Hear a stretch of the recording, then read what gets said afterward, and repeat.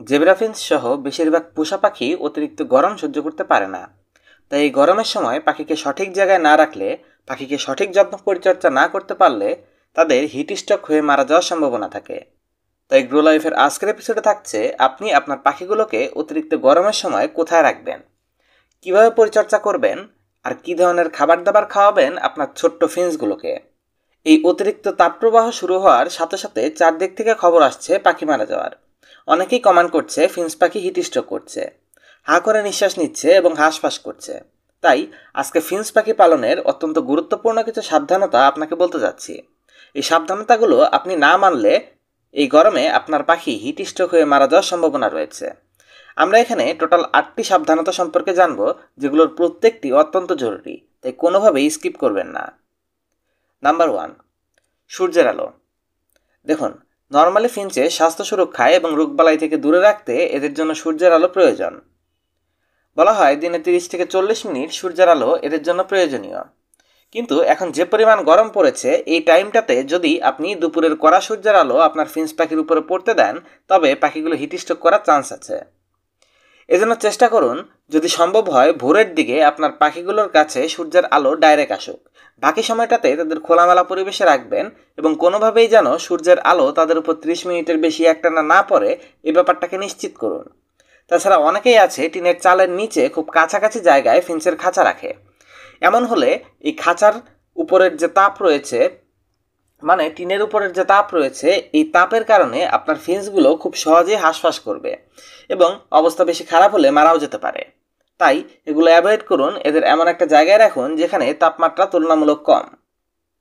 Number two, গোসলের ব্যবস্থা করে দিতে হবে। ফিঞ্চ এমন একটা পাখি যারা পানি দেখলেই গোসল করে। ইভেন পাখি যদি অসুস্থও থাকে তবুও গোসল করে। এজন্য আপনার পাখিগুলোকে অবশ্যই এই গরমের মধ্যে গোসলের ব্যবস্থা করে দিন, সপ্তাহে তিন থেকে চার দিন। যেদিন অতিরিক্ত গরম পড়বে, সেদিন অবশ্যই ব্যবস্থা করে দেবেন গোসল করার। পাখি খুব পছন্দ করে গোসল করতে। তবে কিছু কিছু পাখি আছে যারা গোসল করতে চায় না, এমন পরিস্থিতিতে আপনি ছোট একটা স্প্রে নিয়ে ওদের স্প্রে করে দিন। যেদিন অতিরিক্ত গরম পড়বে এবং পাখিগুলো হাঁসফাঁস করতে থাকবে, সেদিন দিনে দুইবার করে স্প্রে করে দিন। সকালে একবার দিন এবং দুপুরের টাইমটাতে একবার দিন। নাম্বার থ্রি এই গরমের সিজনের কথা মাথায় রেখে আমি আপনাদের জন্য ফিন্স পাখির একটা ডায়েট প্ল্যান নিয়ে এসেছি। এই ব্রিডিং প্যাকেজটা যদি আপনি আপনার পাখিকে খাওয়ান, তবে তারা ডিম বাচ্চা করবে, প্লাস এই গরমে তাদের কোনো সমস্যা হবে না। মানে এই গরমের মধ্যে তাদের যে ধরনের সিড দিয়ে খাবার তৈরি করে যতটুকু অনুপাতে খাওয়ানোর প্রয়োজন, আমাদের এই মিক্সটার মধ্যে তাই দেওয়া রয়েছে। আপনি বাংলাদেশের যে কোনো জায়গা থেকে অর্ডার করতে পারবেন এই ফিন্স পাখির খাবারটি। যদি আপনি কিনতে চান ভিডিওর প্রথম কমেন্টে এবং ডেসক্রিপশনে আমার সাথে যোগাযোগের লিঙ্ক দেওয়া থাকবে।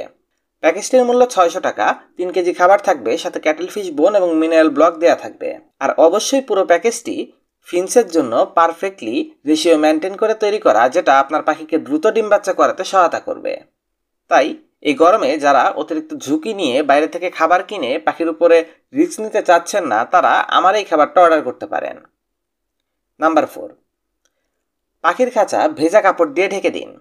দেখেন, এই কাজটা আপনাকে প্রতিদিন করতে হবে না। এই কাজটা হচ্ছে যেদিন অস্বাভাবিক গরমের কারণে পাখি স্ট্রোক করতে নিচ্ছে বা অতিরিক্ত হাঁপাচ্ছে, ওই দিন করবেন।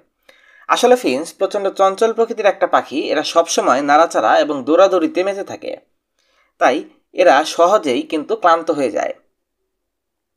এমন পরিস্থিতিতে যেদিন দেখবেন অস্বাভাবিক গরম পড়েছে এবং পাখি কোনোভাবেই এই গরম কোলাতে পারছে না, তখন আপনি এই স্টেপটা নেবেন।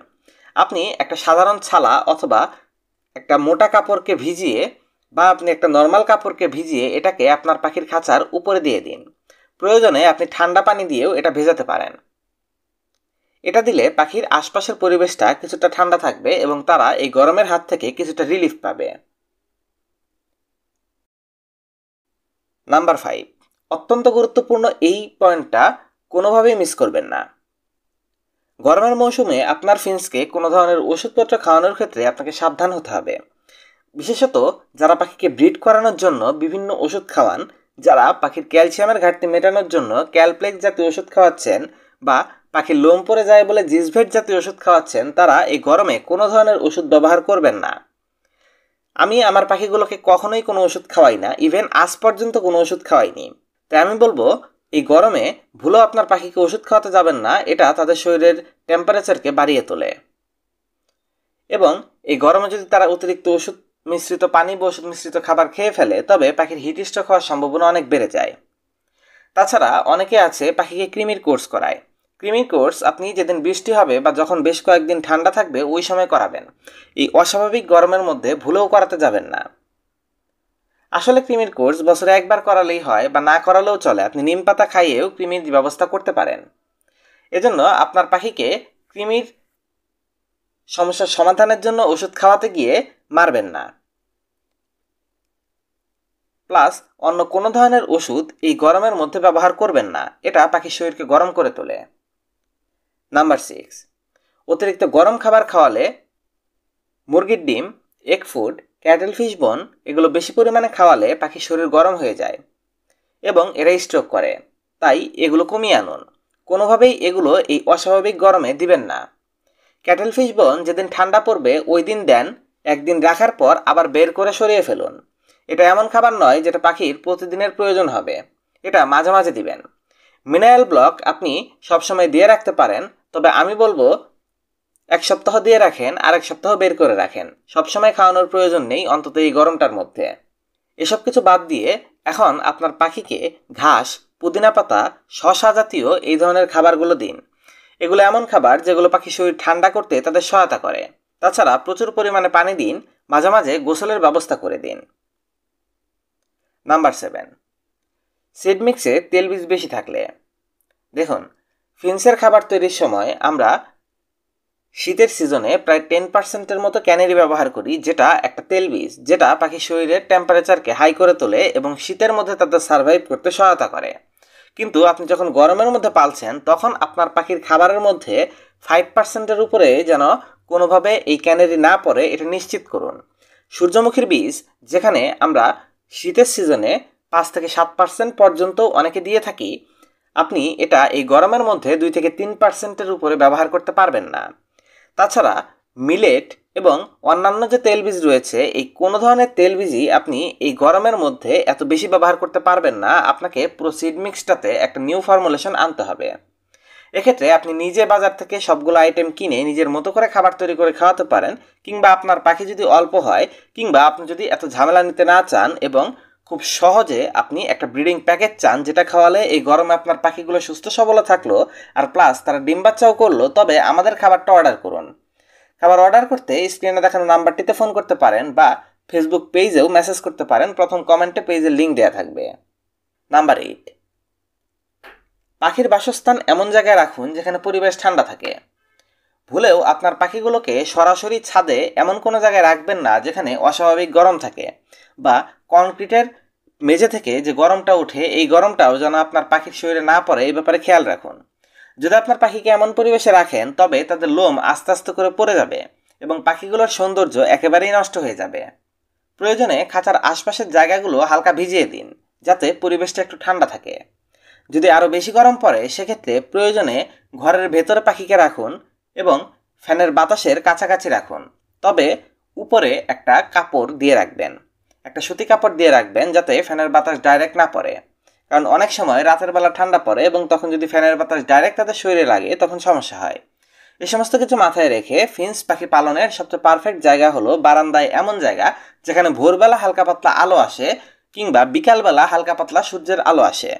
মানে ডাইরেক্ট সানলাইট আসে। বাকি টাইম সবসময় জায়গাটা আলো বাতাস পর্যাপ্ত পরিমাণ চলাচল করে। এমন জায়গায় রাখুন। পাখির খাঁচা এমন কোথাও রাখবেন না, যে জায়গাটাতে অতিরিক্ত মানুষের চলাচল থাকে। মানুষ পাখিকে অতিরিক্ত ডিস্টার্ব করে, কিংবা এমন কোনো প্রাণী যেন আপনার পাখিকে ডিস্টার্ব করতে না পারে, যেমন ইঁদুর, কুকুর, বিড়াল, তেলাপোকা, টিকটিকি, এই সমস্ত প্রাণীগুলো যেন আপনার পাখিকে ডিস্টার্ব করতে না পারে এই ব্যাপারে নিশ্চিত হন। কারণ অনেক পাখি ইঁদুর দেখে বা তেলাপোকা দেখে প্রচণ্ড ভয় পায় এবং এই পাখিগুলো এগুলো দেখার সাথে সাথে লাফালাফি শুরু করে দেয়। ফলাফল হিসাবে তারা আরও বেশি আতঙ্কিত হয়ে থাকে এবং আরও বেশি হাঁপাতে থাকে। এসব কিছু মাথায় রেখে পাখির খাঁচাটা এমনভাবে রাখুন এবং আশপাশ এমনভাবে পরিষ্কার রাখুন যেন সেখানে কোনো পরজীবী না আসে। আশা করি উপরে উল্লেখিত এই আটটি পয়েন্টকে মাথায় রেখে যদি আপনি আপনার ফিন্স পাখি পালন করতে পারেন এই গরমে, তবে আপনার পাখিগুলো খুশি থাকবে, তারা ভালো থাকবে এবং এই গরমে খুব ঠিকভাবে সার্ভাইভ করে ডিম বাচ্চা করতে পারবে। কেমন লাগল ভিডিওটি অবশ্যই কমেন্ট করে বলবেন, আর যে কোনো রকম পরামর্শের জন্য ফেসবুক পেজে আমাকে মেসেজ করুন। ধন্যবাদ, এতক্ষণ সাথে থাকার জন্য।